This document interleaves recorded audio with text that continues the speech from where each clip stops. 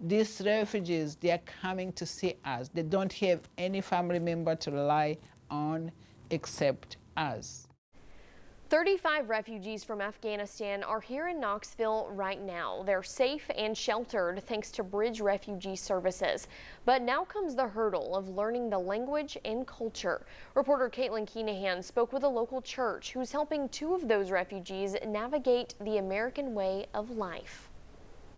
After suffering instability, conflict, and control from the Taliban, 35 Afghans are now safe in Knoxville, Tennessee. Refugees are people who have sought safety. Those refugees came through Bridge Refugee Services. You know, when they move in a new country, they don't know anything about that country. Many didn't live in a house. They lived in a refugee camp for many years, so you have to teach them from one to Z.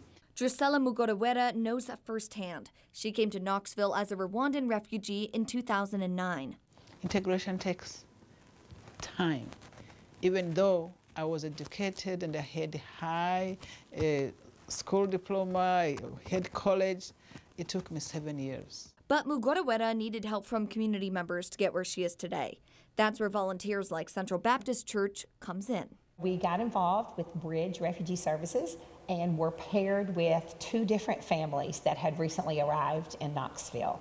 The church will provide the refugees meals, transportation, English tutors, and life skills courses. One of the families was just could not say enough. I love America. I love Americans. They are so thankful to be here and they are so appreciative. And Bill Williams says it's our job as Knoxvillians to be welcoming as always. I think we continue that kind of outreach with this kind of program, saying, come and be a part of our community.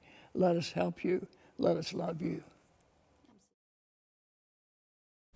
That was Caitlin Keenahan reporting. And if you're interested in helping to acclimate these refugees, go to bridgerefugees.org.